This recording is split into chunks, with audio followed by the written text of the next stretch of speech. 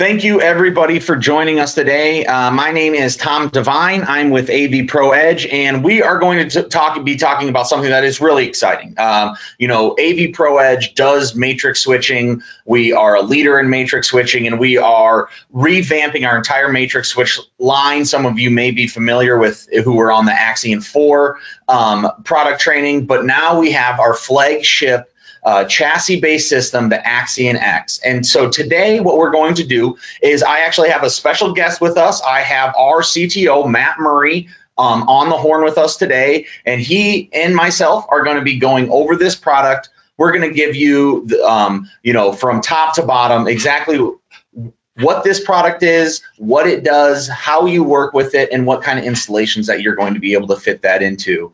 Um, a, few, a, little housekeeping stuff right away. Um, we do have a questions tab. So if you check your GoToWebinar control panel, there's a questions tab there. We want you to be asking questions. Uh, the the more questions we get, the better the training is. So please ask your questions there. If you're at any time having trouble hearing us or anything like that, you can also put that in the questions tab, and we will be monitoring that the entire time, making sure that we're addressing that. If you are watching this later um, through YouTube as a recording, thank you so much for joining us here. And you know there's a comment section right below. Please put any of your questions you have right into the comment section, and we are monitoring that and make sure that we'll get all your questions answered.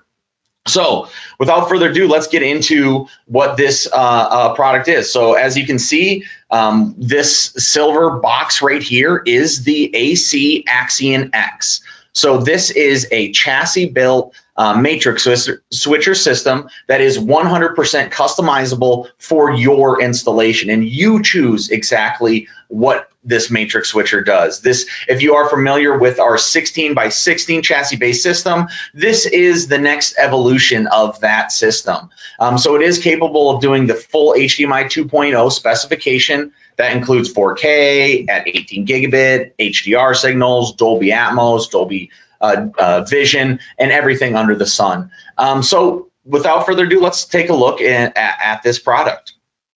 So video distribution that fits your next installation, and that's what the the main um, part of this product is going to be. And as you know, video distribution is a must for truly custom AV installations. Um, so here now, um, video distribution, it's a must. You guys know that with all the advancements in HDMI technology, you know, you have new formats coming out, new audio formats coming out. And what can happen when all of these things are always consistently changing is that it can be difficult for the integrator to put together these jobs like they have over the last 10 years. Uh, things are always changing and, and, and evolving. And what we did with this product is we try to put the tools in place so that all no matter what is happening no matter what changes come about whatever no matter what kind of signals you're seeing you're going to be able to um, manage the switch and manage the distribution flow to be able to um, send stable smooth video signals throughout. So that's what we're talking about our flagship video distribution product and that is the axion x. Um, as i said engineered with the with the um, integrator in mind this device, as we go through it today, you'll see that it actually is built for the integrator. All the features that we are putting in this isn't necessarily for the end user, though the end user does benefit. It really is for the integrator and for installation to go smoothly and easily, and so that you can get a, a, a very luxurious, high end video distribution, audio video distribution system um, throughout it. So um, now we can see uh, the back end of this. So as you see right on your screen here, guys, we have slid open the chassis base system and you see the different input cards. So you kind of get a, a, an idea of how this works. On the back of it, you have your inputs and outputs, and we can select as you make a purchase for this product or as you um, build this product out, you get to choose how many inputs and outputs um, make up this card. So it has spots for 16 inputs and 16 outputs, but you can manipulate that to be whatever you'd like it to be. If you needed it to be an 8 by 12 or a 6 by 16, you can change that um, selecting all the individual cards. And I'll bring Matt on here in just a second to go over all of those individual cards. But on a high level approach, when you um, install this system, you are getting 4K at 18 gigabits per second, 18 gigabits over category cable using our own proprietary ICT compression technology that uh, is is engineered to deliver the highest quality picture possible. You actually have mission critical scaling as well, which is a different type of technology that puts this product into some environments that you may not originally think that it's going to fit in. But more importantly, maybe the biggest innovation that we have is our AVPro Edge user interface. And we are going to do a deep dive into that today and look at our entire user interface built from the ground up for integrators. And I think that's going to be really the, the um, watershed moment for a lot of people when they realize why you should be using Axion. Uh, you do have independent audio routing, so this can be built as a audio video but emphasis on the audio matrix as well with our audio only card that we'll go over. You have your own um, build your own uh, EDID tools, which we call extreme EDID management. Um, and then you can also have down mixing capabilities. So we could take like 30 channels from a Dolby Atmos signal and we are able to down mix that into two channels so we can send it throughout an entire system, but keep that uncompressed, un, um, you know, uh, an undown mix signal for that home theater, and we'll talk about that as well throughout here.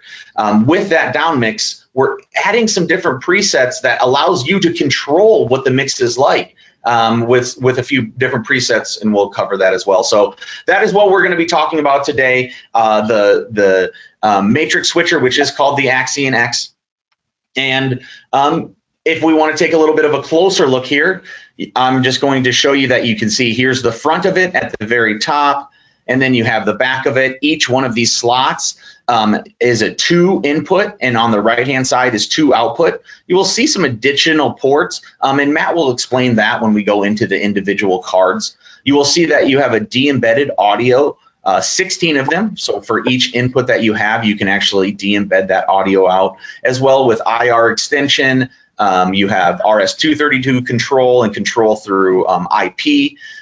This is where you can customize your chassis is with these different cards. So these are the different types of cards that can fit in different configurations depending on what your installation calls for. And so that's what we're going to talk about today. Um, you know, I think Matt is going to um, be taking over here shortly, but I just want to let you guys kind of know how you order this customizable switcher. So at first, you're going to order the base chassis. That's going to be this unit right here with zero cards. Then you need to ask yourself some questions. Figure out what the installation needs. Find out what your installation calls for. And at that point, you're going to ask yourself, how many inputs do I have? You know, inputs come in pairs, so um, you're going to always be at an even number for inputs and outputs. Um, but you'll be able to ter- determine as close as you can to that even number how many inputs you need. Um, then you'll have to have how many outputs, how many TVs or projectors are in the system, and you'll choose that for your output cards. Then you need to ask yourself some questions. Um, is mission mission critical scaling something I need? Is down mixing something I need? How many sources will I need to down mix? After you have that, the answers to those questions, you can order your input and output cards. And if you are having any troubles when you are putting in that order or not sure exactly what to do, no problem. You just give us a call and we'd have one of our uh, uh, reps be able to walk you right through the different cards and help you build your system. And if you have any HD base T, you will just want to make sure that you have the transmitters if it's on HD base T inputs or receivers if it's on HD base T outputs. So that's how you're going to actually order the uh, customizable switcher. Um, and you will be able to do that through all your different methods. So now, as you can see, we're going to go into the actual input cards here, but I'm going to have Matt take over. He, Matt is, uh, you know, a founder of our company and the CTO, the man behind this um, this product. And so I'm going to make him the presenter. We'll take turn it over to you, Matt, and um, thank you guys for um, paying attention and, and letting me open up the training for you.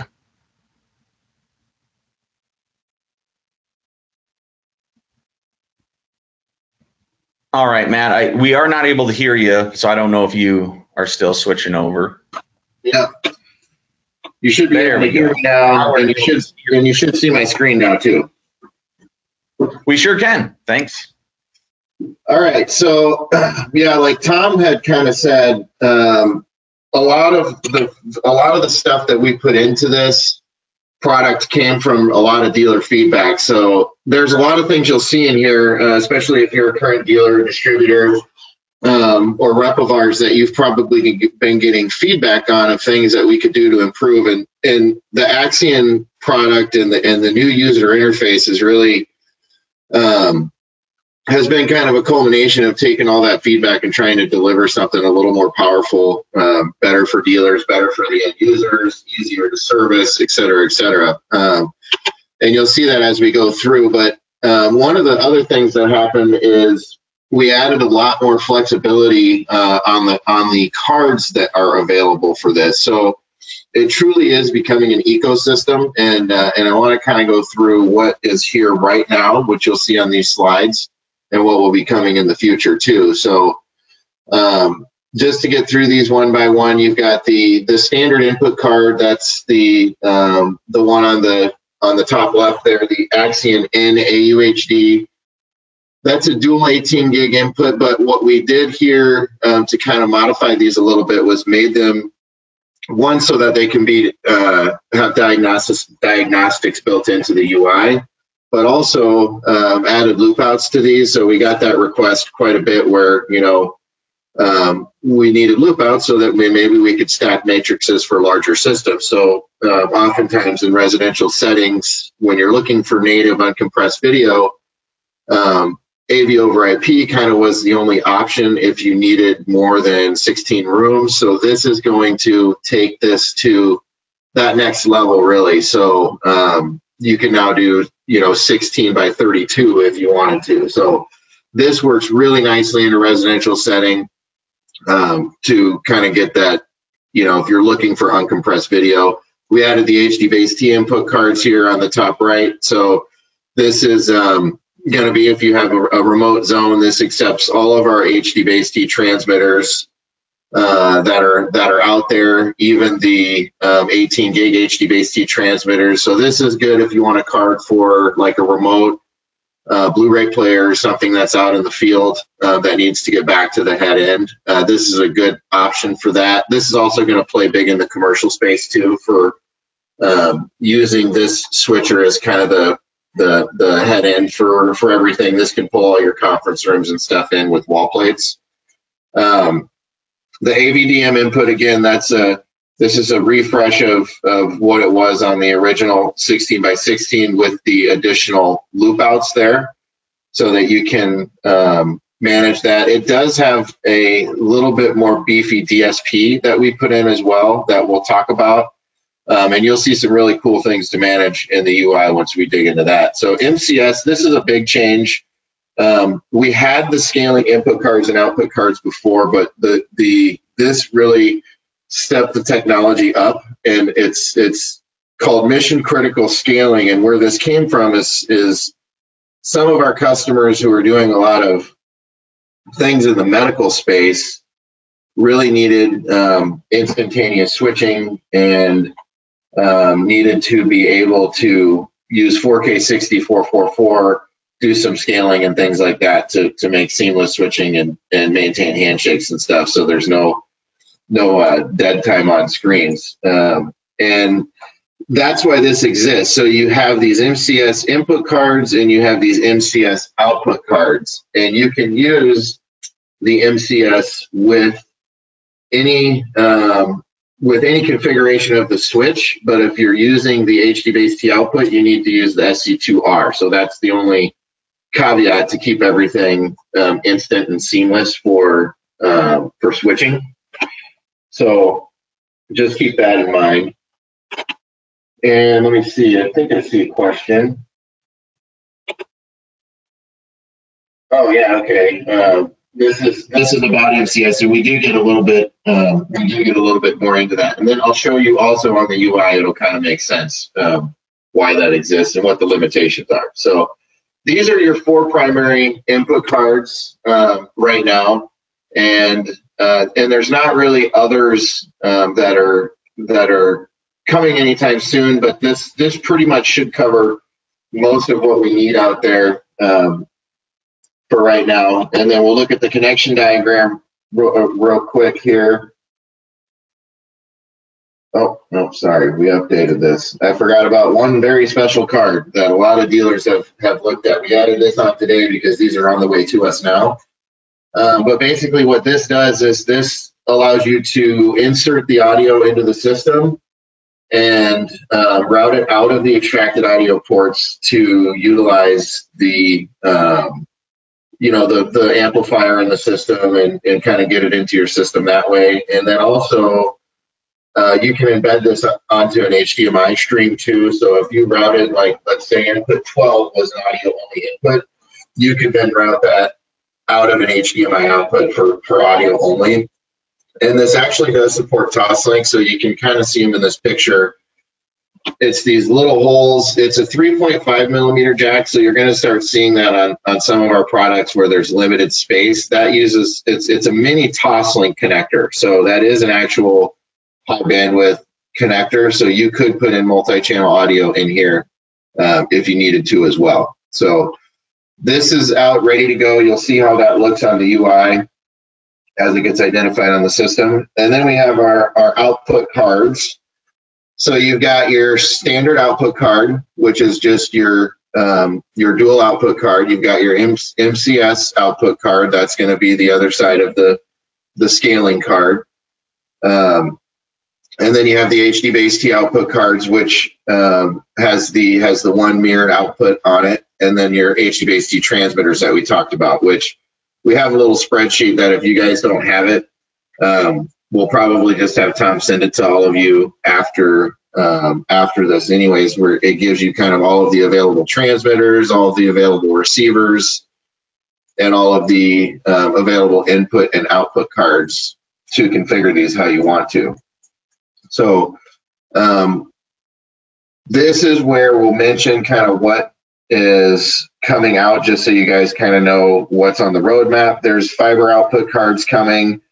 There are ARC slash eARC output cards coming that will support uh, that audio return channel. And then we also have uncompressed um, HD base T as well um, that will also support ARC and eARC. So there is some some new cards that are going to be coming down the road for the output side of things so that you guys can um, manage the the display side and the TV apps and all that stuff as well, and also get get fiber out of this. So those are the output cards. Here's a connection diagram. Um, you know, pretty pretty straightforward here. 16 sources, 16 outputs, um, and you can really do any combination of of, uh, of input and output configuration. So here's the stuff that kind of makes this more special. So these are the things that we really added and spent a lot of time on.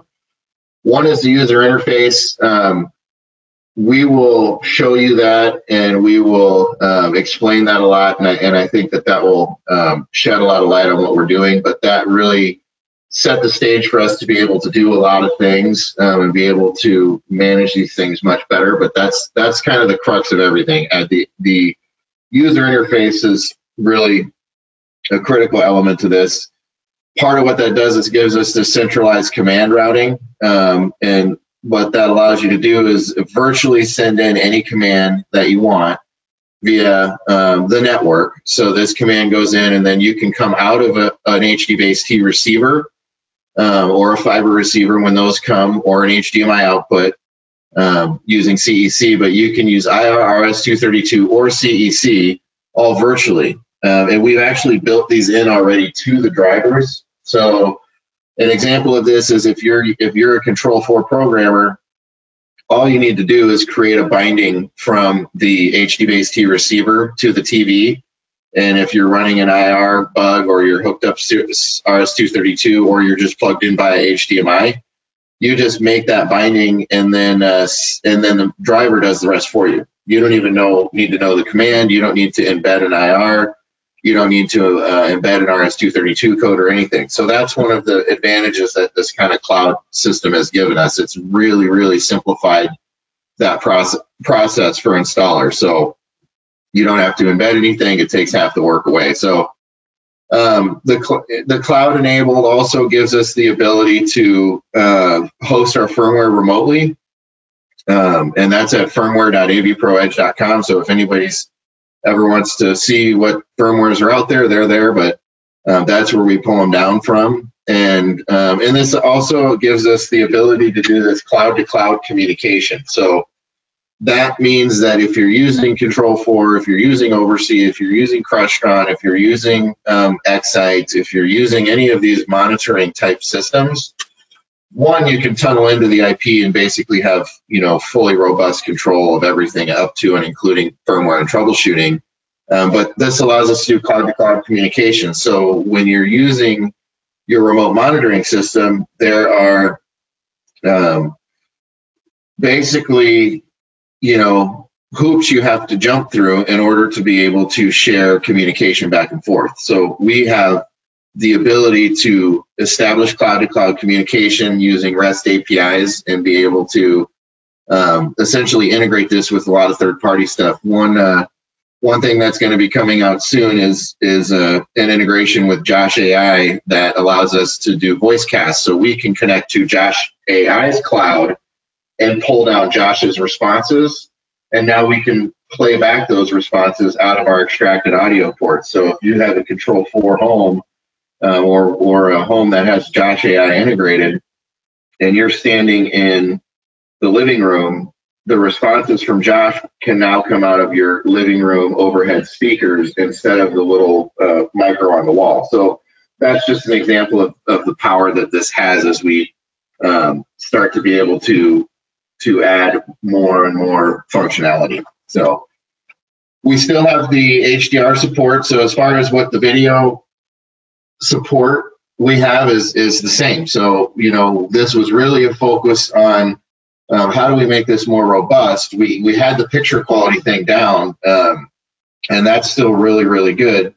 And like I said, it's going to be it's going to be going uncompressed. So um, with the um, MCS, so let's talk about this for just a, a few minutes basically what this is doing if you if if you have an mcs input and an mcs output what you're doing is you have we have an extra chip inside of there that does advanced scaling. So when the signal comes in um, we can scale it to what it will uh, what will be the most compatible to the mcs output card. And then we can also scale it again then to the the TV. So what we're doing is we're scaling in and we're scaling out. So for the long and short, if you do that um, and grab the signal on the way in and, and buffer it, you essentially can create instant switching. So if you're asking about when a dealer would require this, the thing that the, it's if they want instant switching, they want 4K 60, 444 video. Um, they don't mind um, using scalers because sometimes if you're using HDR, your HDR tone mapping can change. So it is it is a discussion on, you know, is the customer needing everything to be native, then they're probably going to be okay with with TVs and things to have to resync, right? Because that's the only way to get the truly native experience is things do have to drop signal and resync on the current HDMI 2.0 uh, spec. 2.1 that'll probably get a little better, but um, that's the way it is. But what when you can use this is two channel systems um, that it can support high bitrate audio. These cards don't support that, but they can support HDR. Um, so my ideal scenario is if there's not a theater in the house. Um, this would even be similar to um, a friend of mine's house. You know, no no theater in the house. They just have a lot of what I call passive viewing TVs and then living room TV. Um, they're a two channel system. They, they have all overhead speakers everywhere, and this just gives them instant switching. So, um, and you still get really high quality picture. It's just not going to be native. And it does do HDR tone mapping for you. So if you use HDR, you can use this, but it's, um, it's close to the original, but it's not the original. So just keep that in mind. So one instant switching, um, doesn't necessarily need HDR and doesn't need multi-channel audio. That's when you need it. Um, there there is latency added into the scaling. It's about it's about like five milliseconds though, so it's it's nothing that really um, is even going to create anything. So, um, by you know human standards, that latency is negligible. So it's it's almost like there's no latency, and there's no latency in the rest of the si- system as well. So you would basically be sitting at about five milliseconds with that. Um, audio down mixing. So um, at this this has we've been doing this for a while. I'll show you what's new in it. This essentially takes your multi-channel audio, turns it into two channels so that you can distribute into those zones that that just have overhead speakers. Um, audio de-embedding, so we have the ability to um, extract audio. Um, this can be bound to output, bound to input, bound and, and, and done as a matrix as well. So we can route that down mixed extracted audio anywhere we want. Volume control is in there. This is improved on this model. So um, it's a 0 to 100 smooth ramp versus a 0 to 20 bumpy ramp. So that was a, a major complaint from from dealers that you know it doesn't line up with the control systems and, and it, and it uh, doesn't meet the end user's expectations because the volume there it's it's not finite enough. So this is now a 0 to 100 scale. Um, and easier installation. So now we'll take a look at the interface. Um, let me get that up. So this is what the UI looks like now. And this is consistent across all of our products, by the way. So everything that's a matrix or that's connected is going to get this facelift um, with all of these, these features on it. So we can still do our matrix. You can see in here, it's detecting that I have some different cards. So we've got uh, regular inputs, MCS inputs, AVDMs, HD base Ts, and audios. So the machine detects what card is inside, um, and then I can do my matrixing here. I can matrix my audio right here. Um, you know, it's a little bit different than you're used to, where we've kind of made it so that uh, it's a lot easier to use, and um, you can even lock this out so that you, as the the integrator, can leave this page accessible for an, an end user and they can still do switching here. But basically you choose your input and then you route it to whatever output you want. You have your IR routing. So the IR is set up to be routable on this current machine. So you can route it anywhere you want. Um, and then your IR back channel as well if you have transmitters in there. So anything that can be matrix will be added to this page if you have it enabled. So let's get into um, the good stuff here. So this is going to pull up. Um, it's got the labels. We can enable, disable it. You can see where we have modified the EDID management to where you're to, it's not just a list of 50 different EDIDs because the list was kind of getting unwieldy. Um, Yes, there's a question here. Can the entire unit do an update for all cards? And the answer is yes. So when you update, it's one click. And if the cards need to be updated, they will be updated as well.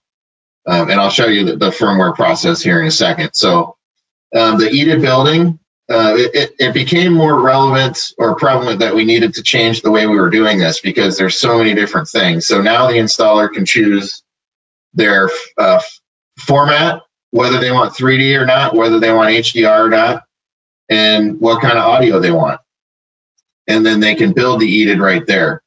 So if we look at some of these other cards um, down here, so in AVDM, that's the AVDM input card. You have an extra option here. So the machine is is dynamically detecting what card is in, what firmware is available, and what it can do. And we've added these new um, they're called down mix quotients. Um, and what these are is the amount, the level that we're mixing in for um, for this two channel output.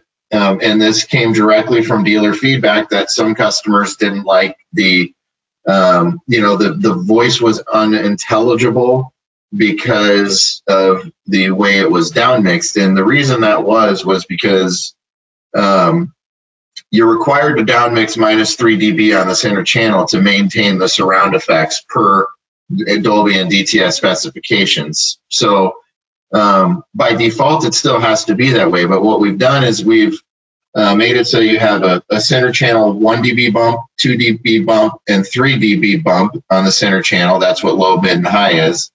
And then you have middle FX, which is basically going to um, focus mostly on the center channel voice FX is is um, like 80% just the center channel and then the surround stuff. And then full FX is kind of a, a, a, flat blend of all of them. And these are good because you can, you can set it up based on not only the room, but the room impacts this, but sometimes the customer may just want to hear the voice, you know, so you can give them what they want. You know, they'll still hear background noise and stuff, but really when you're watching a movie or something that, you know, you, you may just want to hear the voice. So that's there. So the options pop up, you know, when and when and if they're available, um, and that's that's how you can build your EDIDs. There's a couple of new settings here um, that some installers, if they've gotten into the woods with us on on some of these things on the old products, we could do it, but it required um, some communication via serial and stuff to do it. But basically, right on right on the fly, you can enable or disable Dolby MAT so that can save you a ton of headaches in a distributed system to be able to to manage this. And you can govern what Dolby Vision version is going to work. So you as the installer can understand what TVs were purchased or if there's a mix or whatever's in there and you and you get to make the determination on whether or not you're using low latency or original Dolby Vision, which that's very powerful for you to have that just right there at your fingertips. So and you can see down here, we'll look at our video output settings. Um, you've got your enabled, disabled, and see there's scaling. If the scaling is available, it will give it to you. Um, and then you have right here the advanced timing and formats for the MCS card. So if you look, this is an MCS card and what you can scale to. So here's our standard card. We can do 4K to 1080. That's it if we want to do more advanced, especially in commercial, or let's say the customer has a zone or a couple zones that are 720p TVs or something, you know, you only need to buy one of these cards. You don't need to build the whole matrix with this. So it really gives you that flexibility. You could have a whole native house and then you can have a kitchen and a bathroom that have a 720p TV. And you can use this just to make sure that that TV stays stable all the time. Um, but I have all of these formats I can use. It has a really creative mode called self adapt, which what it does is it looks downstream at the device it's connected to, um, reads the EDID and finds its preferred timing and sets itself to that. So that's a really nice mode there too. And then you can see we have our VESA resolutions um, to accommodate for um, commercial displays and DisplayPort and things like that. So that's what the MCS gives you. Um, and it and it is a it's a very powerful feature for um, for anybody who's who's doing commercial, especially. But like I said, it's a problem solver, big time.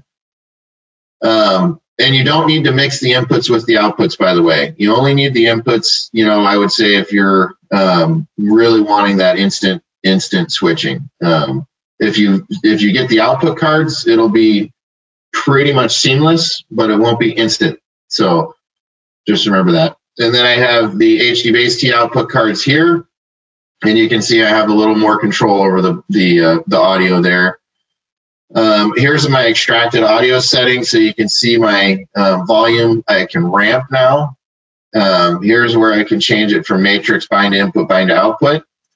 I have um, my settings right here. So I have an EQ on the actual output. So remember before we're talking about the downmix quotient, which is how the audio is managed as it comes into the machine. And now when we talk about how the audio goes out of the machine, we have some equalization here as well. So if you're still not satisfied, you have some um, some some EQ you can do right here. And obviously you have your your fade that you can do. So that fader works. And then you also have your um, audio delay you can set right here. So some of these things were possible before, like delay, but it, it just, we didn't have this intuitive UI that really made it simple for people to use. So this is our advanced IR setting. So generally speaking, you don't need to do anything with this. Um, but especially for um, the Crestron integrators of the world that maybe are doing some um, some really custom stuff. You can route every IR port on this machine to any IR port on this machine from transmitters, from receivers, from directly on the core box and everything. And that includes RS-232 as well. Um, alrighty, and let's go look at the system page. So this is um, kind of the brain page, and I'll run through this really quick. We, you can see that we have our IP settings here. You can change how the IP is is is addressed. Um, we have a way to lock this web interface, so that's been a big ask. So we can do admin, uh, admin. So what that does is when I apply that, you can see that now um, it's locked out of all the settings except for the matrix. So I can still access the matrix um, and make switching happen, but I cannot do anything until I log into this. So now I'm back in and you can see I've got my, my system back up here. And you can even do a user level. So I'm gonna make sure I change these so I know what they are.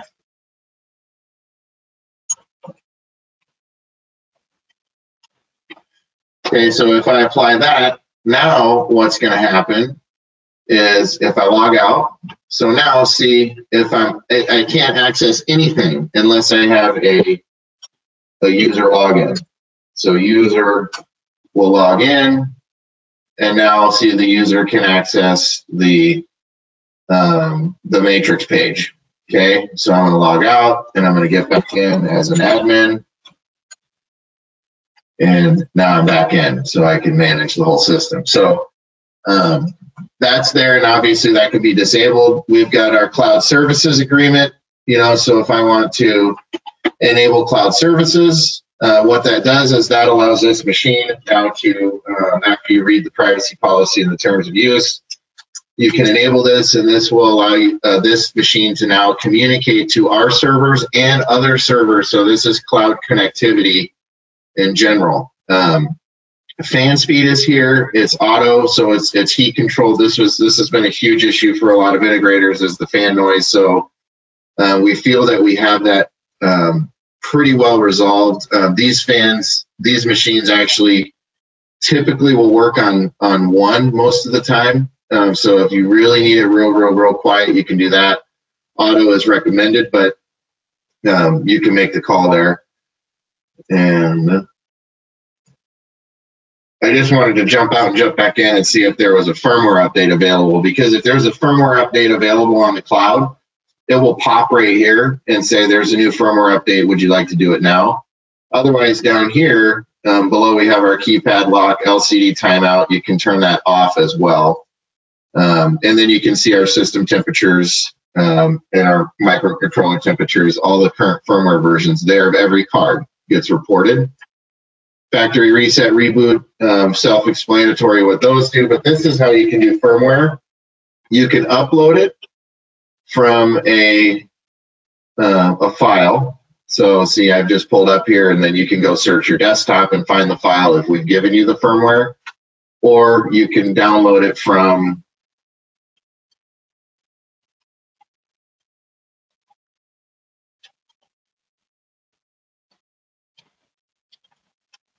firmware.avproedge.com. This is the repository for all the firmwares or support.avproedge.com. If you guys aren't using support.avproedge.com, I highly recommend you you take a look at this now. Um, you know, it's really gotten robust. All the firmwares are out here. Um, you know, here's a an example of an article. You know, control for initial driver driver setup, pre-commissioning there's just lots and lots of data out here now. Um, so just keep that in mind. But firmware is all over there on support.avproedge.com, firmware.avproedge.com if you need to download it, or you can simply click check for update. If this thing's available, it will find the update, download the file, um, and as you asked Sammy, if there's multiple files for multiple card types, it will identify that and it will update those all with, uh, you know, the integrator can press a button and walk away. So they don't have to sit and babysit a firmware update anymore. Um, and this will actually do um, dependency checking as well, of course. So if, if, you know, something, if it needs to be updated before it can be updated, it will do that as well. diagnostics page, um, we have the, uh, let's see if we can find one that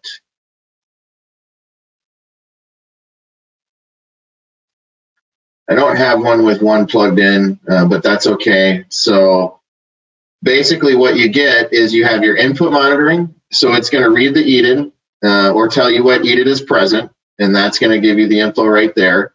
You can reset the connection here if you want. You can enable, disable this, but then you get this signal info over here.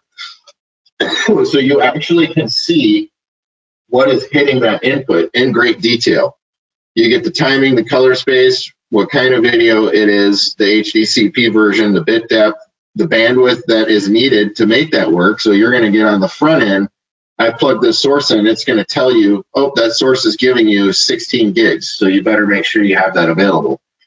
The metadata type is going to be there, what the audio type is going to be there right there. So as you're seeing things downstream in the system and things aren't looking how you want them to look, or you're not getting audio in this out of this TV or this zone, you can go right here and now you have an analyzer for every single source that you plug into this thing. So um, this is very, very powerful.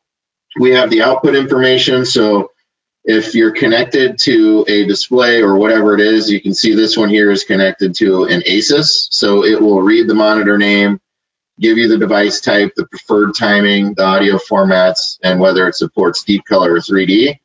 Um, gives you what source is active right now, and then you can also send. Um, and so you'll see these question marks here too. Those are those are to help you um, kind of navigate this more.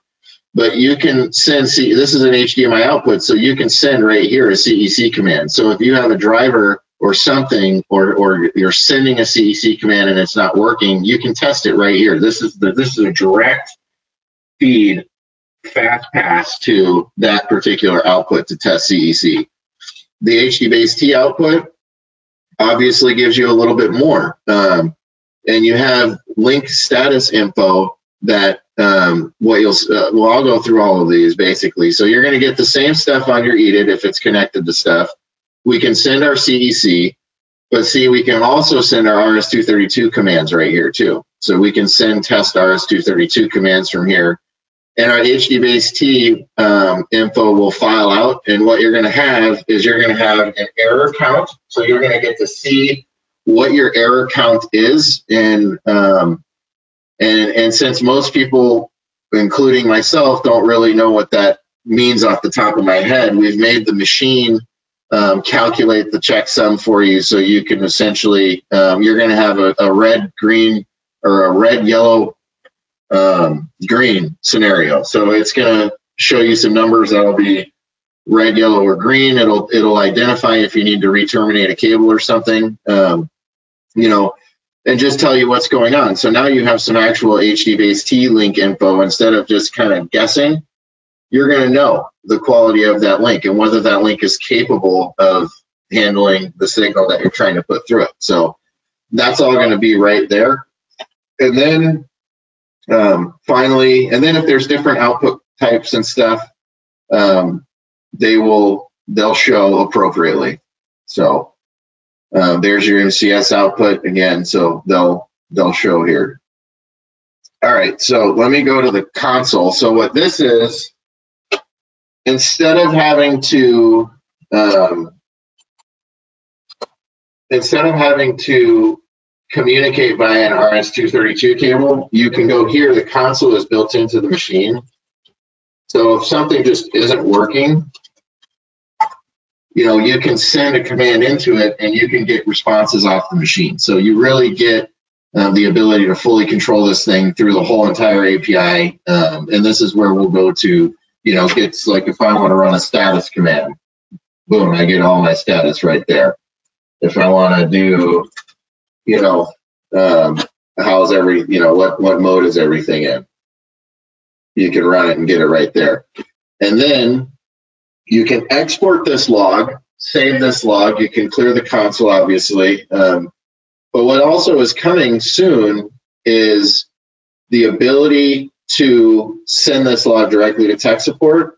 Um, and there will be a remote management um, um, service as well for this. And let me see if I can get that.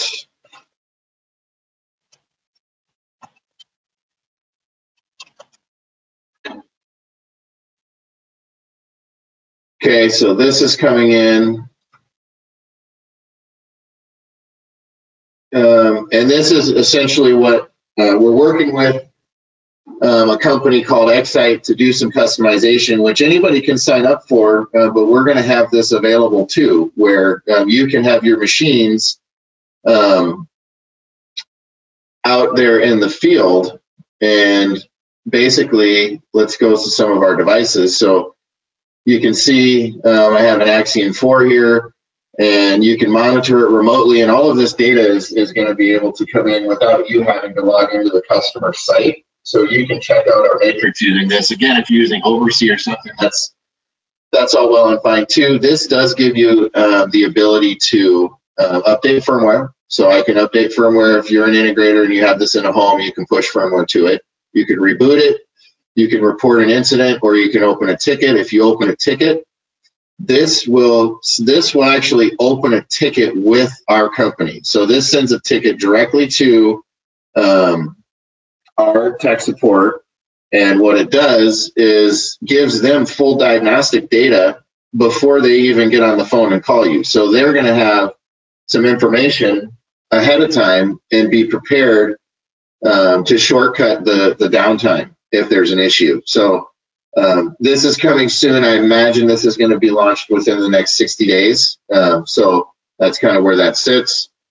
Um, so that's the interface in the UI. So hopefully that gives you a good idea of, of why we made this change and spent essentially two years rebuilding these this this interface from the ground up.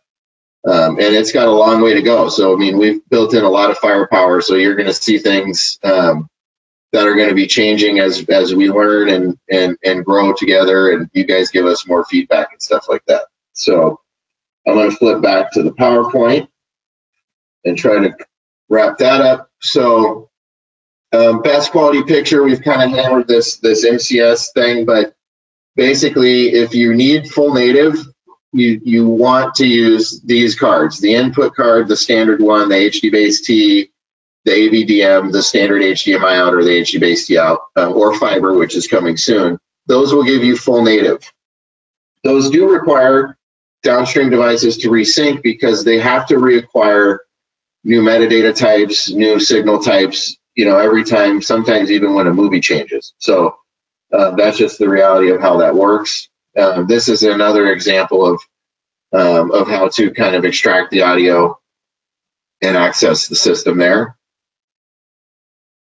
Um, and then the mission critical scaling, this is, um, again, when you're looking at seamless switching as the most important element, you're going to get very good picture quality, but these do not support multi-channel audio. So that's the biggest thing you need to remember. Two channel audio is what these will support.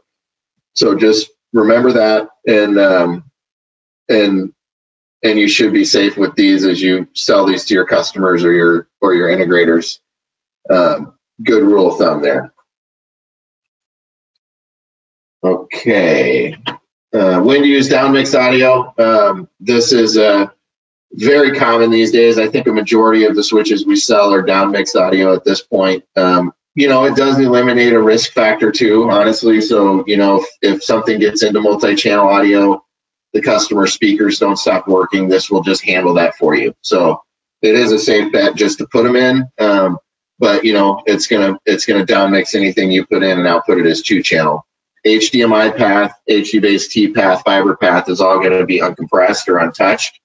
Um, but just on that extracted ports, those will um, those will be there. This product fits a lot of places now. So it was primarily built as a residential product for you know routing high-end uncompressed video. Now obviously we've built in some functionality and some features where um, this is a good thing to look at for control rooms, hospitals, you know, luxury homes. Obviously, we use it for that a lot. Um, hospitality, courtrooms, bars, restaurants, smaller ones where you don't need to get into um, MXNet size distribution, um, and you know, really anywhere you need to do video matrixing. So um, that's a it's it's got a lot of firepower, a lot of options, and and our uh, our team here is ready to help you. You know, spec one of these or uh, customize this if you need to.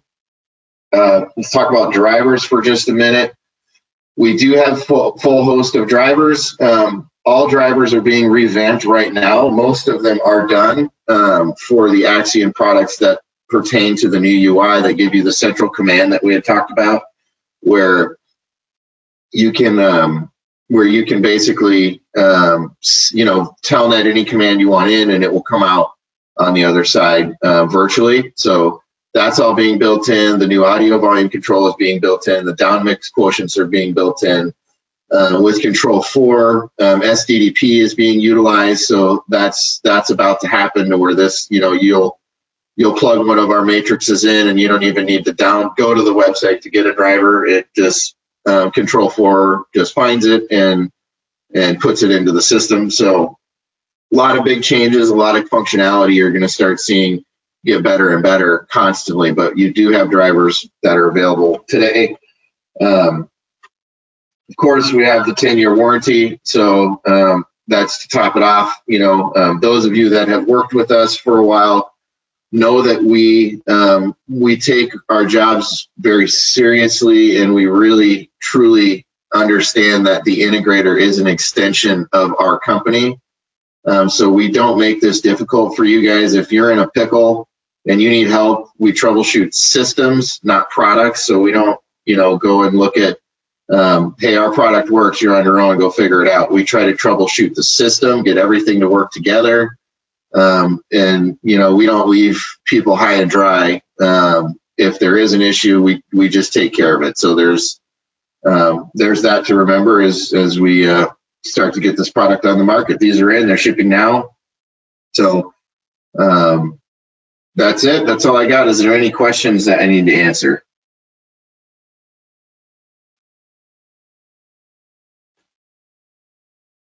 Yeah, it looks like our we haven't had any more questions come in, but definitely, guys, type them up right now if you have anything. Uh, that was really, really informative, Matt. Thank you so much for going through this with us today.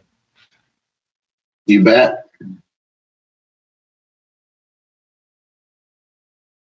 And as we kind of wrap up here, um, you know, feel free to write your questions here. But if you do have any questions that come up later or anything that you wanted to know more about, you can just definitely reach out to us. Just give us a call or call your rep um, for AVPro. Um, we are, you know, have plenty of people here that would be happy to talk to you about this product or talk about future installations that you may have where this product can fit into and how we can you know, is use some of these features that Matt went over uh, to uh, benefit you in your next install. Well, I don't see any more questions coming in here. I want to thank everybody for joining us today. Thank you, Matt, for going over this again. We really do appreciate it. And um, uh, uh we'll see you guys on the next training.